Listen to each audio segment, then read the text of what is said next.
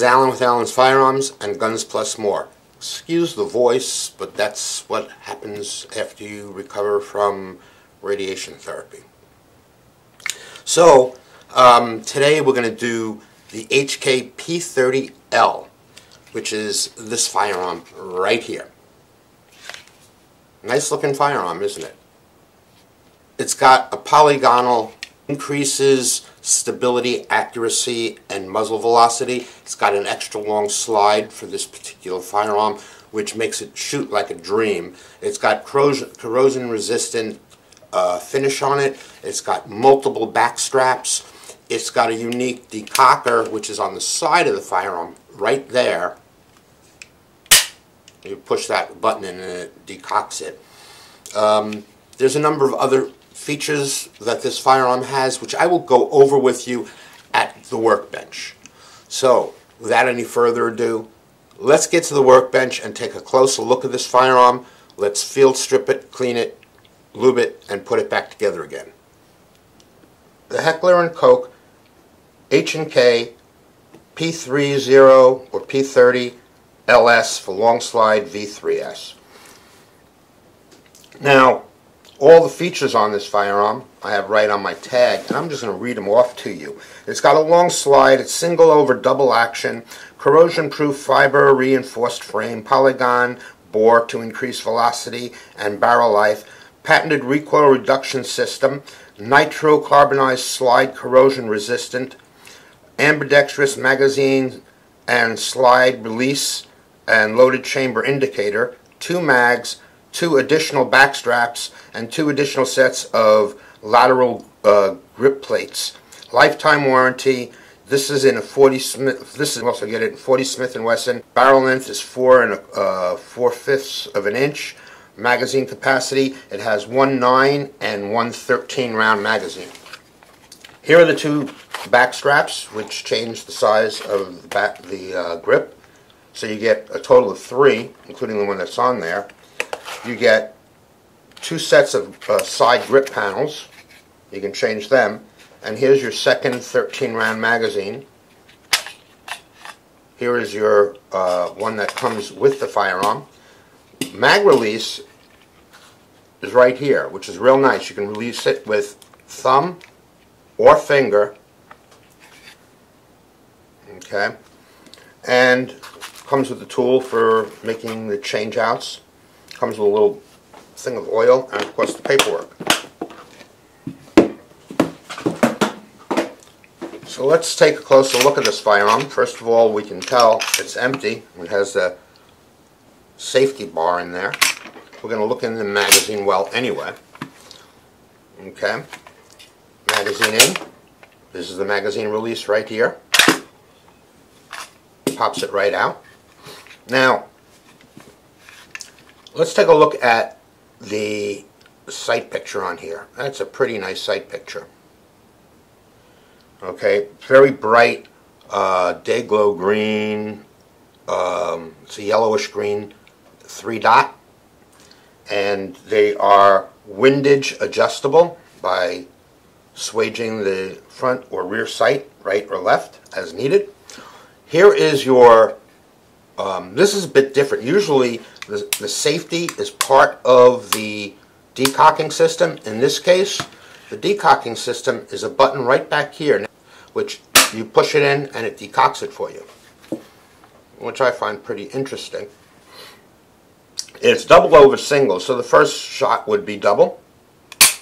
After it's fired, the round will uh, cycle the slide cocking the firearm to make the next round single action, which is a much lighter trigger pull. It has a Picatinny under rail, so you can add a laser, a light, um, or a wraparound holder for a uh, holographic. Okay, it's got a ambidextrous safety marked S for safe and red F for fire. Now to take this gun apart, it also has an ambidextrous sli um, slide release. So you can get it from this side or this side. So it's This gun is totally ambidextrous between the safety, the slide release, and the magazine release. Very nice firearm. My gunsmith loves the way this fires. It is so smooth. Now, in order to take this apart, it's very interesting. A lot of guns that have, pistols that have ambidextrous um, slide locks have a, a, difficulty in taking them apart. There's a certain amount of uh, skill level needed or knowledge needed to do it properly. In this case, they did a really smart thing. I'm going to show you what they did. First of all, you have to note there are two slots, one here and one here. And that is one. The first one is your slide lock. The second one is your takedown uh, area. So you have to move this takedown area over this area here, like that. Once you're into that position, you just push on this little uh, piece right there, this pin. You can hear that snap. It pushed this forward. And you can actually see there's a red mark right there that red mark indicates the gun is not safe to shoot because the slide is not locked down. And at this point, all you have to do is pull the slide off. Of course, the magazine has to be out.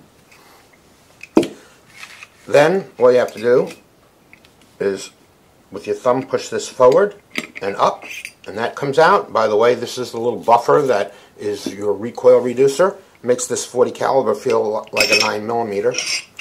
They're a dream to shoot. And there you go. That's totally disassembled. Field stripped. And now to clean it, very simple. We just need some cleaning cloths and some cleaner. Now I use Strikehold.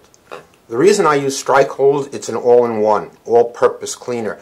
This will clean, protect, and lubricate. So using this one product, I do not have to lubricate it. Now, for those of you who do not use a product like Strikehold, that use traditional gun cleaner, that cleans a gun only, you do have to lubricate it, and I will at the end of the video, before I reassemble the gun, show you how to lubricate it. But with Strikehold, you don't have you can skip that process and just put the gun straight together again. So, what we'll do is we'll take a cleaning cloth, we will put it on a cleaning rod, spray some strike Strikehold on it, and we will run it down the barrel.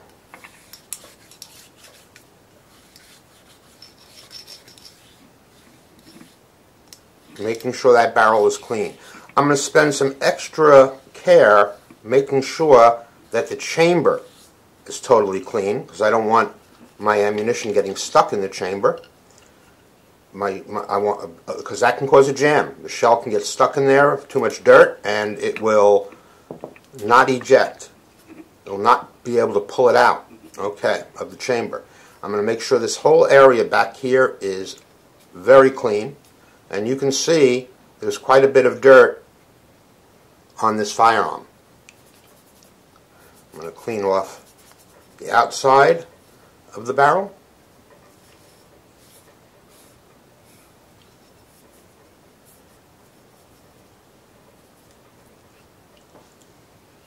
Okay, now I'm going to clean off this rod. Let's get a new clean cloth.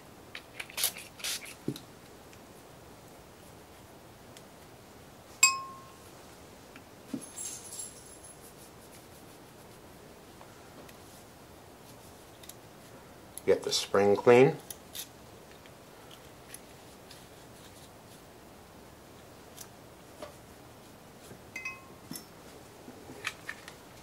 Now, let's get this. So the first thing I'm going to do is just by using my fingers, I'm going to get every place that I can get easily using my fingers. Make sure I get the battery clean. Look at all that dirt that came off of the battery. Because a lot of people forget to clean back here, unfortunately. Now, what I'm going to do is I'm going to take this flat stick I have and wrap my cloth around it so I can get in here underneath the extractor. Okay, so make sure that's totally cleaned out. Because if you get too much, if you get dirt under the extractor, that can also cause a jam, because the extractor can ride over the the rim the the rim of the cartridge and leave a loaded round in your gun and then you think it's empty and you pull the trigger and it goes off. So you should always look into the chamber to make sure the gun is actually empty. Or two, while you're firing it, it can leave a spent cartridge that is a little uh, hard to pull out. It can ride over and leave that in there causing a jam. You don't want to have a jam at an inopportune moment like when you actually really need the pistol. But still, even when you're just shooting it, it's not a lot of fun. Now, I'm going to go over the slots on each side of this slide and get make sure they're all cleaned out.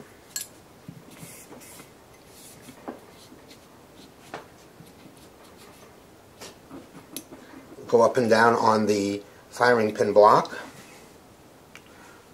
Let's get it clean back here.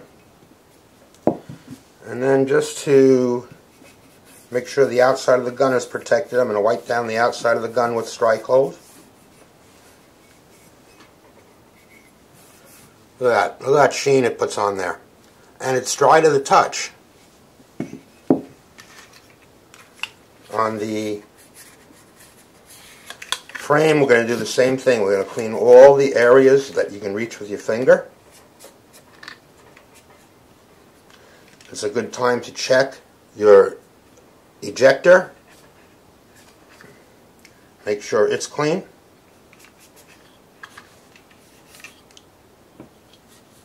Sure the rails are clean. With this gun, it's pretty simple. Go down into the magazine well from both sides.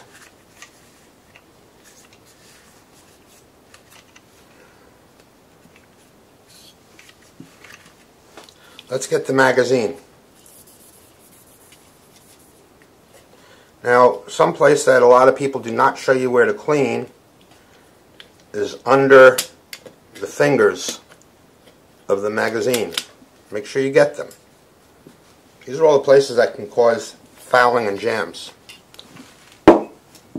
That's basically it. That is all you need to do. If you're using a product like Strikehold, an all-in-one, at this point you can put your firearm back together again.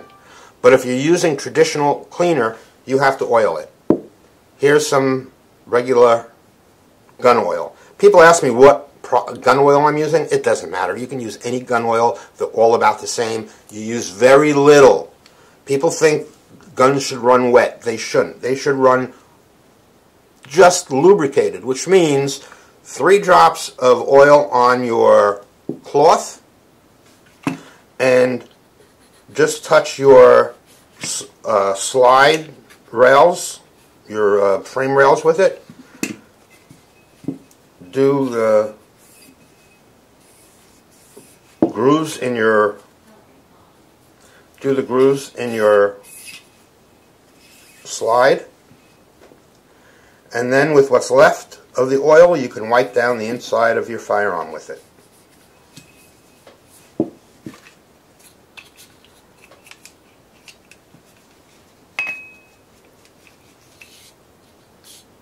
And that's it. That's the only oiling you have to do. Just with an oily cloth. Don't squirt it all over your gun. You might want to put a little bit of oil on your spring basically I'm only oil oiling areas that move. And we're going to put uh, the oily rag down the barrel. The oil doesn't make the bullet go through it better, but a little bit of oil will protect the inside of the barrel to a certain extent from moisture. Now to put this firearm back together again, it's quite simple. Same process in reverse. We drop the barrel in, slide it backwards, we're going to put the spring in like that. This hook part goes down. See that hook? That goes down. Push it forward and push it down and it will drop right into place. Put your slide on, pull it back into that position, push this in, and that's all you have to do. Checking decocker, checking double action, magazine release, everything works fine.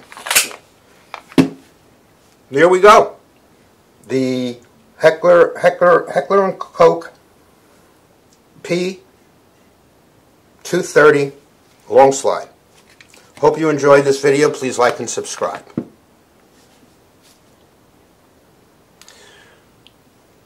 Thanks for visiting and watching the video on the P30L, which stands for long slide. Um, hope you enjoyed the video. Please like and subscribe and see you next time.